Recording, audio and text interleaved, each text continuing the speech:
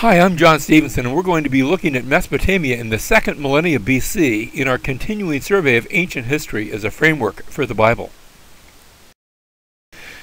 Some of the places that we've already noted, we spoke of Sumer back when we were speaking of Mesopotamia, the Sumerian culture and civilization in southern Mesopotamia. Um, Assyria, very early in that history, uh, we have Assyria, but we're going to see them uh, continuing to exist and even to have their ups and downs. Uh, we have Elam to the east of Mesopotamia in the Zagros Mountains to the east. Uh, Aram, um, they seem to come into uh, into power much later. Uh, although there are hints that they're there already with their capital city of Damascus, and uh, eventually their language is going to win out. Even though they will not be a major ruling power, their language is going to have a great influence, and Aramaic will be the lingua franca, that is the common language of the ancient world by the first millennia BC. Uh, Egypt, of course, uh, down along the banks of the Nile River, and then another people group we haven't talked about much, and we're going to get to this time, and that is the Hittites who live along the banks of the Halys River in central Anatolia.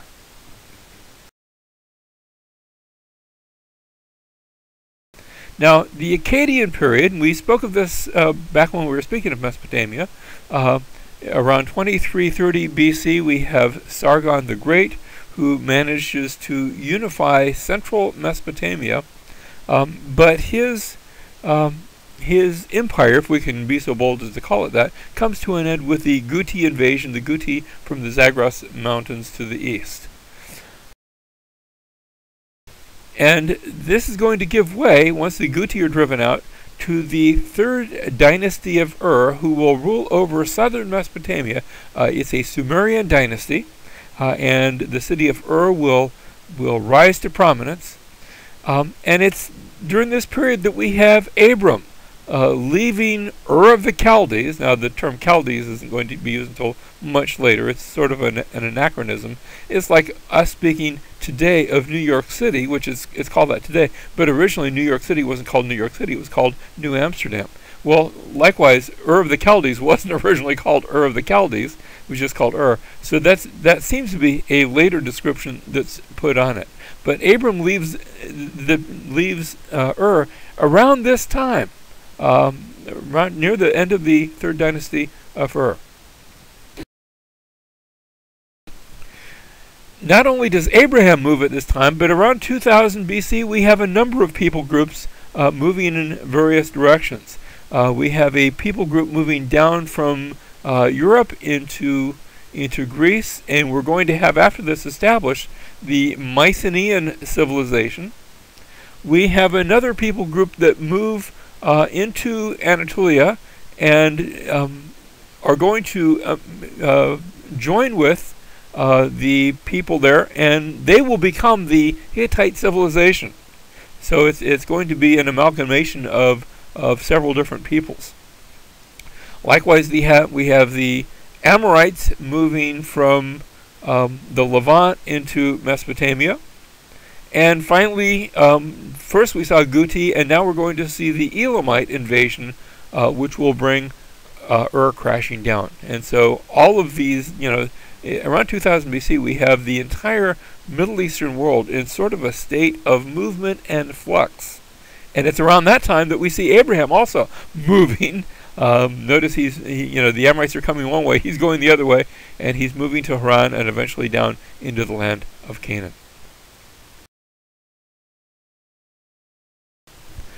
Now, from 2000 to 1800 BC, we have the Isin-Larsa period. Notice I've got two different cities, Isin and Larsa. And the reason we call it that is because neither one really has the supremacy. Uh, instead, we have a period of city-states that are ruling. Um, and so uh, both these, these are two of the prominent ones in southern Mesopotamia, but also toward the end of this period, we have Assyria growing, and for a time looks like they're going to be an empire uh, as they exercise their their dominance over most of Mesopotamia, even marching all the way to the Mediterranean Sea. Now, Um, that doesn't last past uh, one particular family, and when the Assyrian Empire shrinks back, we're going to see them uh, growing, and then the king dies, and he it, it, becomes small again. In that vacuum, we have one particular king, uh, the king of Babylon, by the name of Hammurabi. He dies in 750 BC, but before he dies, uh, we're going to see him. Uh, he succeeds his father as the king of Babylon, and uh, they've been under Assyrian dominance, but he throws that off and he not only drives out the Assyrians, dri also drives out the Elamites, and manages to unite all the lands of central and southern Mesopotamia under his rule. So we have Hammurabi uniting Mesopotamia, at least the southern and central portions of that land. Uh, it's interesting that for you know for all his name recognition, uh, he seems to have a, a problem with delegation. Uh, there's there's little in the way of delegating authority. Um, instead, we have Hammurabi insisting that he makes all the decisions for everything. Uh, and of course, um, you have to have a great deal of energy to keep up with something like that. Uh, and it will also not long last after his death.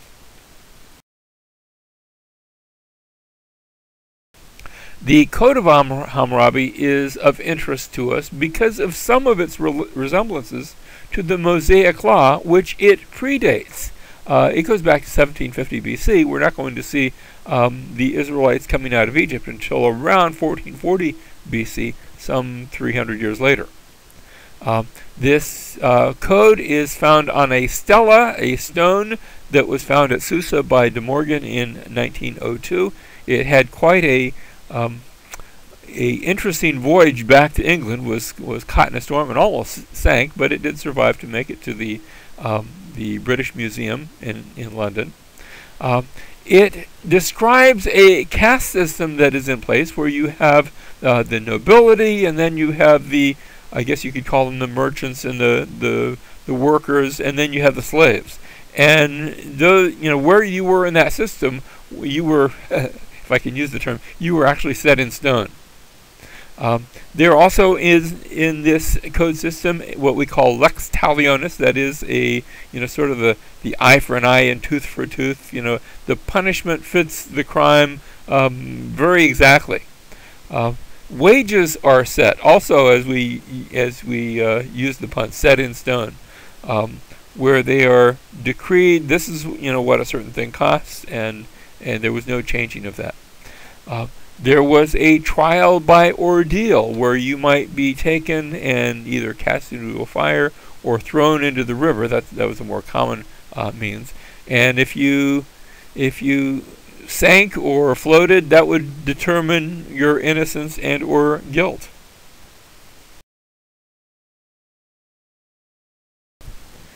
Um, the Code of Hammurabi detailed marriage laws that they that a marriage was only legal when it had been put into writing. Now, not everyone could write, so this necessitated the use of a scribe if you wanted to be legally married. Uh, the penalty for adultery is death, but uh, also wives were allowed to own property. So uh, women had some they had some rights uh, under the Code of Hammurabi. It did specify monogamy, that is, you were only supposed to have one wife. Now, the Assyrian kingdom comes up after uh, after Hammurabi, and the Assyrians are able to assert their independence. Uh, they make treaties with the surrounding city-states. Um, and Babylon, after this, is going to begin to descend not into obscurity, but it will no longer be a chief city as it had been under Hammurabi. Another kingdom that we see, and a city that uh, we see as its capital, is the city of Mari on the Euphrates, uh, in the neighborhood of the Assyrian kingdom. The Mari tablets were excavated by André Parrot uh, from 1933 to 1938. Again, he went back in 1952. This was after the after World War II, uh, and excavated until 1956. Uh, and more than 20,000 tablets were discovered at Mari. They present life in among the Akkadians. They're written in Akkadian from 1800 to 1750 BC. So this is just uh, within the scope of Hammurabi's reign. Uh, and it includes some interesting biblical names, like the name Abraham, like the name Jacob. Now, that's not saying that it's the same Abraham or the same Jacob, you know, different people, but those names are reflected within this culture. It also uh, paints a picture of travel and commerce. For example, one of the tablets was a, a tablet indicating uh, a rental lease where somebody was renting a wagon, and uh, listed in there was the requirement you could not take the wagon to the Mediterranean, which indicates that people were in that day traveling to the Mediterranean and back, and, and there was uh, considerable travel taking place. Um, we also see a reference to a covenant, and the the formula that is used is being described to kill a young donkey. In other words, to make a, to make or to cut a covenant. Um, so that that uh, that idea of making a covenant by killing an animal uh, that was uh, described here uh, within the Mari tablets.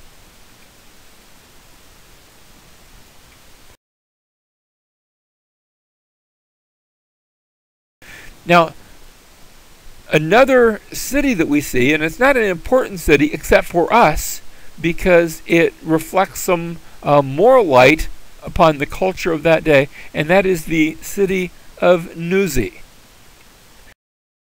The Nuzi tablets came from this much smaller town. It was always under the shadow of either uh, Mari or it was under the shadow of the Assyrians.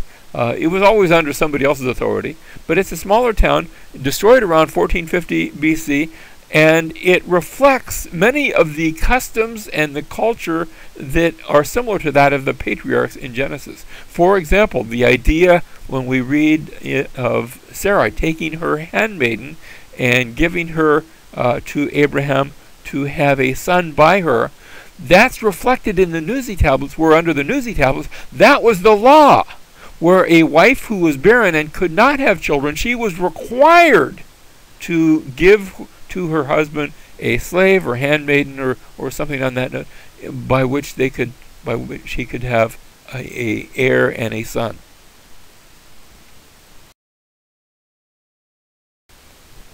Now let's talk about the Hittites. The Hittites, uh, they're up in the area of, of Anatolia, where we have the bend in the Great Halys River that cuts through that land. They come and conquer Babylon in the 1600s. They don't they don't come and stay.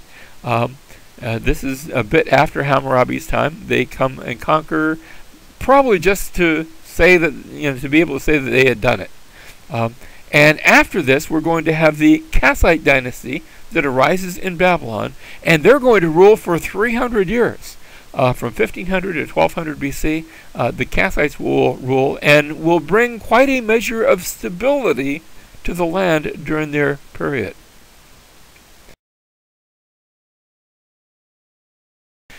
If you had looked at the uh, French encyclopedia uh, under the Hittites back in 1870, 1871, uh, the entire uh, sum of knowledge about the Hittites was reflected in this passage, uh, describing it as a Canaanite tribe encountered in Palestine by the Israelites, resident and alongside the Amorites in the region of Bethel. They were pressed into service by Solomon. Still later, however, an independent and monarchially governed Hittite tribe existed near Syria. And that's all that anybody knew about the Hittites. In other words, whatever was in the Bible, that's all that they knew about that.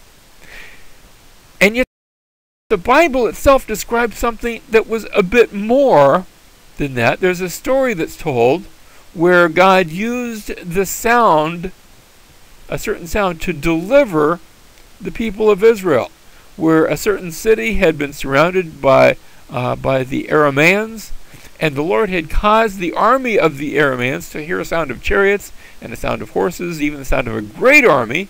So they said to one another, now they heard the sound of an army coming, and they, they thought, Oh my goodness, behold, the king of Israel has hired against us. And notice what's, what it says here the king of the Hittites, the kings of the Hittites, and the kings of the Egyptians.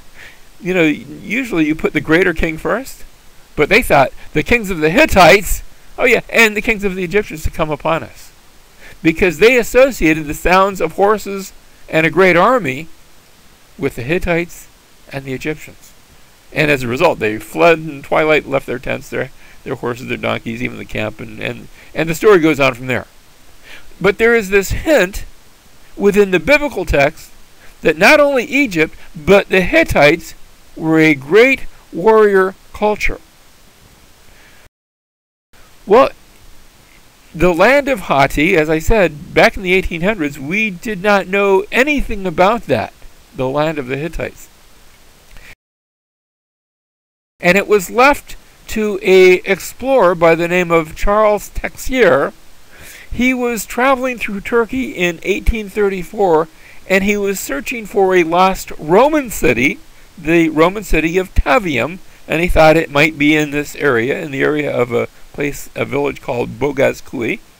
Uh, and he came to Bogazkoy and he was out for a walk uh, and he came upon a giant stone wall with heavy uh, megalithic stones. You know, it certainly wasn't Roman.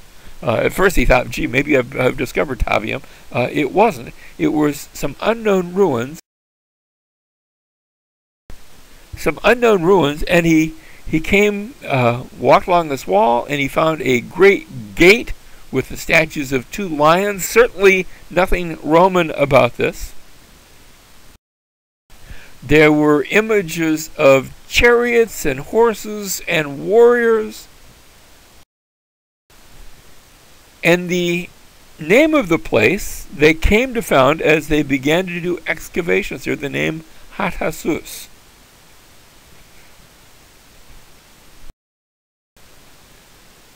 It was a people that he'd never seen.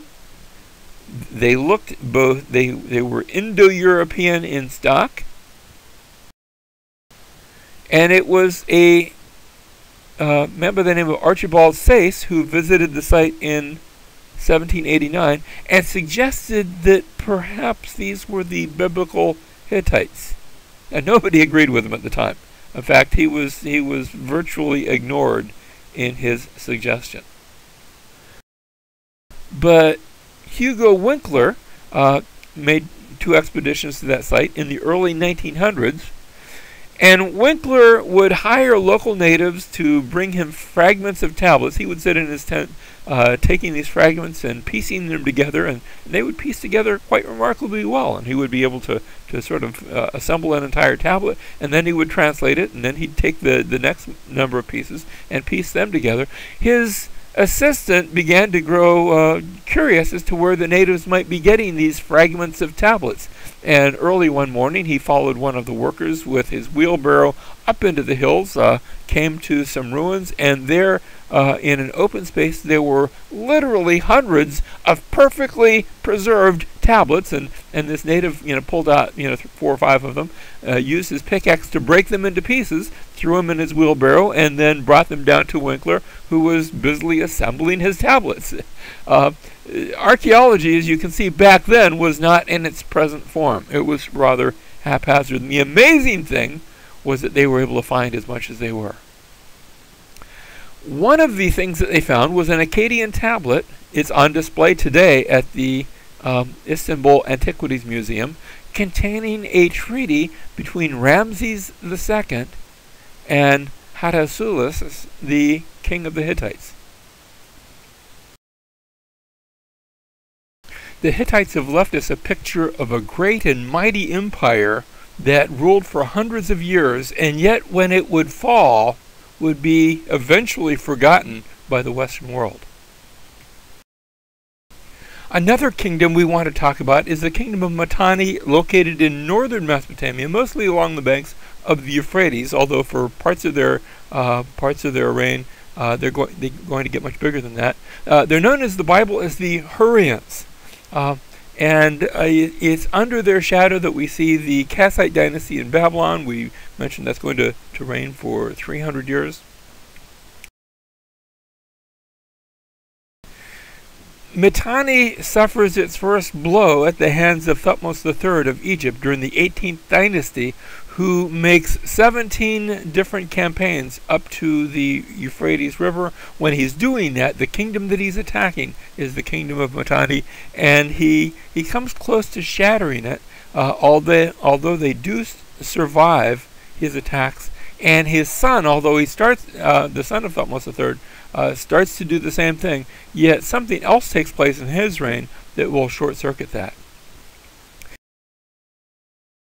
It's at that time, during the reign of Amenhotep II, that we have the Israelite exodus from Egypt going down to Mount Sinai. Uh, eventually, they seek to go into the Promised Land. Remember, they um, they are repulsed. Uh, uh, the story with the twelve spies, uh, and after wandering in the wilderness, for 40 years. They eventually do come into the promised land, but we have uh, Israel taking the promised land in the middle of a time when there are these great kingdoms of Egypt and the Hittites and Mitanni all surrounding them. The question, if you had been living at that time, is will this tiny kingdom of Israel survive?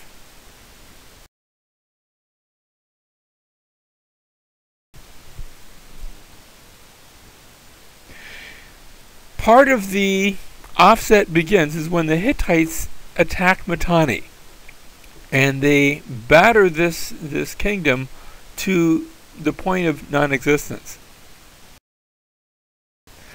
It's around this time that we have the city of Ugarit. Now, Ugarit is another forgotten city. Uh, it was discovered by a farmer on his field in, in 1928.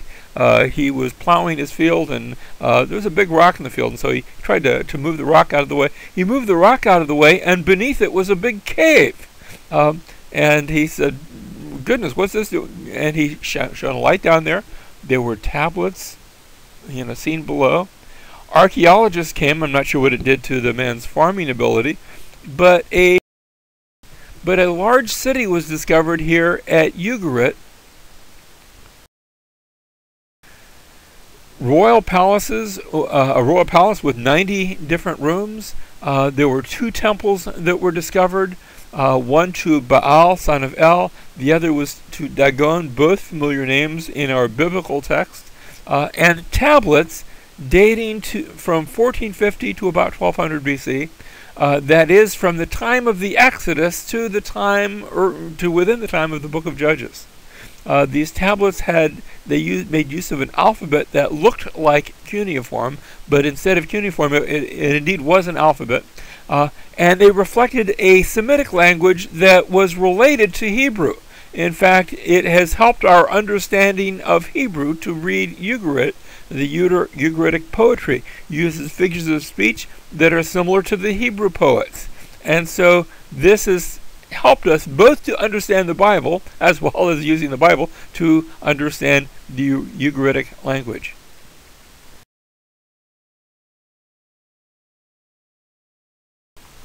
Uh, included in these finds were a Mycenaean ivory box lid uh, that reflects the fact that there was trade and commerce going on uh, through these people. There was travel going back and forth from Greece to Ugarit uh, to Egypt, to the Hittites. Uh, it became one of the, um, I guess we could call it a crossroads.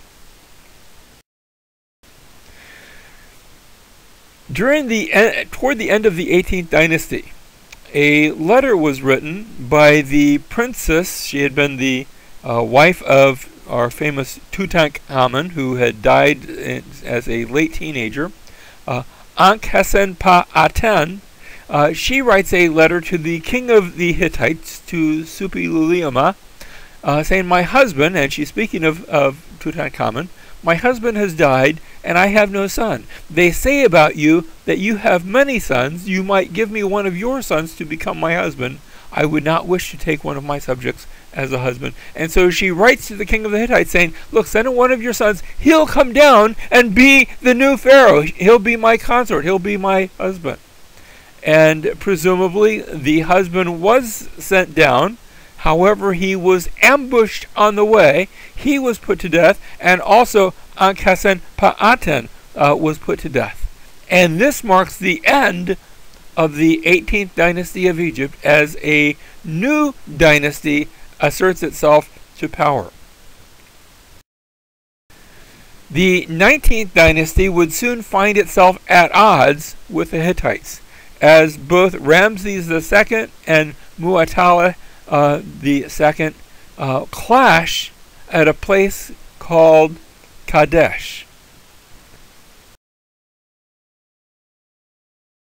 On the Orontes River, uh, Ramses had, was marching north with his army. This is Ramses II, known, at least by himself, as Ramses the Great. And on his way, he had received a false report uh, to supposed um, deserters from the Hittite army uh, were quote unquote caught by him. They allowed themselves to be caught. And they told him, uh, The Hittite king has heard of the great power of your coming, and he's running away. He's 100 miles to the north, and he's just running really fast all the way home. And if you hurry, you might be able to catch him. And Ramses believed the report. Ramses set off in pursuit. Um, he he sort of uh, you know moved up the timetable, and he was with his I guess we can call it his Ammon division, uh, and he set, he moved up to a place northwest of the city of Kadesh, not realizing the Hittites were lying in wait just on the other side of the city. Um, and this caused his forces to be strung out because they had to, to cross the Orontes River and it, uh, at a place where it was fordable, and it was taking some time to do that. Uh, so uh, the Ammon division set up camp northwest of the city of Kadesh. Meanwhile, the Ra division was, was trying to catch up in the Ptah and the Set divisions. They were, you know, far in the south. And as the Ra division was coming up, the Hittites attacked across the Orontes River with their chariot corps They quickly put to flight the Egyptians, shattering that Ra division, and then they moved north to attack Ramses in his camp, uh, the Ammon division. And the Egyptians suddenly found themselves not ready, not prepared, and with an entire army of Hittites closing down upon them.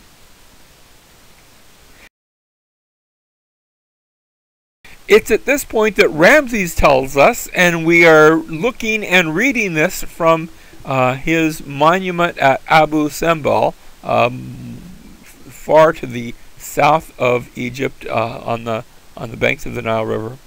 Uh, Ramses says, uh, like a crocodile, I became angry. I was surrounded by by the, you know I was being attacked by the Hittites, and I jumped into my chariot and I surrounded them and I chopped at them and to, to hear Ramses tell the story, he single handedly defeated the Hittites, which is something that we would believe if that was the only account that we had. Fortunately, today we have the account from the Hittites, from their side of the story. And what they tell us is, you know, the same part that we all already described, but that as the Hittites uh, uh, swept into the Egyptian camp, they saw the camp filled with all sorts of treasures and gold and silver and things like that, and they stopped to loot it. Meanwhile, the Egyptians had a chance to conduct a quick counterattack, and, which allowed them to escape. Uh, Ramses took his army, what was left of it, back to Egypt, pulled all the, um, patched up all the arrow holes out of his chariot, and announced to his fellow Egyptians that he had won the war and that he was the victorious conqueror. Uh, however, Ramses never again set foot out of Egypt, for, and he's going to reign a very, very long time after this, always talking about the great battle that he had fought at Kadesh, but not eager to go for a repeat performance. Let's turn our attention now to the Minoans on the island of Crete to the south of Greece. The Minoan civilization was discovered by Arthur Evans, who began excavations in Crete in the year 1900. Uh, he excavated ruins at Knossos, And he labeled that which he found, he labeled that culture Minoan after the legendary king Minos. Now, they never called themselves Minoans. That is a modern designation. But what he found were wonderfully ornate palaces, a, palace without any kind of city walls around it because the Minoans were such an advanced people and were in, in such control over their part of the Mediterranean that they could live in a land of unwalled cities, at least uh, early in their career. Um, among the finds, they, we find a number of, of depictions of, um, well, I guess you could call them bull leapers, acrobats uh, that are uh, jumping over bulls. Here's another such uh, picture. Uh, we wondered, did this have religious significance, or was this just the uh, the ancient equivalent uh, of the Midwest rodeo? One of their outline colonies was in Santorini. They had colonies all over the eastern Mediterranean.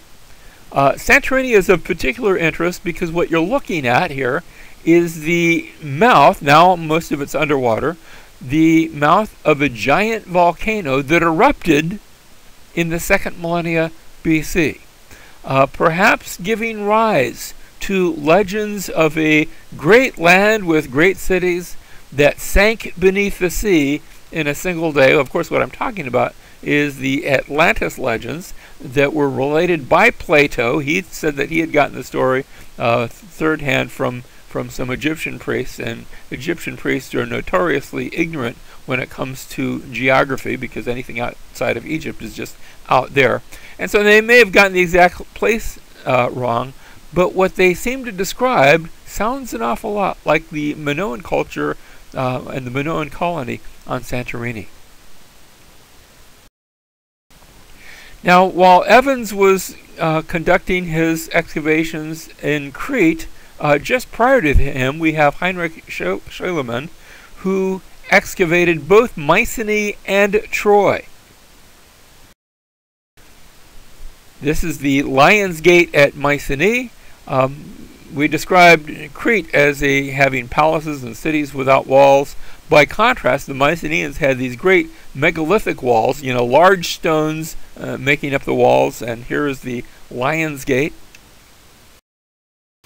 Um, just down the hill, they found they found tombs that are going to be reminiscent of tombs that we find uh, along the Levant at places like Ebla. As we look at the ornate, and these are, are uh, ceremonial swords and or knives uh, with, with graphic representations of hunting scenes, of nature, of just uh, wonderful and delightful patterns. Now, in 1200 BC, things are going to change in a big way as we have migrations coming down from Egypt and bringing destruction, overthrowing the Mycenaean civilization. We're not going to see a civilization, civilization in its place. Uh, there are places where the cities are destroyed, other places where the cities are just hurriedly abandoned. This crosses over into Crete, where the uh, the final gasp of the Minoan civilization also disappears. Even to this day, we have legends of the fall of Troy, and that happens again at this time with invaders coming across the Aegean and then moving across Anatolia to bring the Hittite civilization to a close. We will see Hittites after this, but not as a unified kingdom. They will be splintered into small city states, and then even those will gradually disappear. We will still have Hittites, for example, uh, when we read in the Bible. One of one of David's men was Uriah the Hittite, but in his day, the Hittite civilization was a thing of the past. There will also be the sea peoples who come down and try to invade Egypt. They will be repulsed by Ramses III of the 19th dynasty of Egypt. But if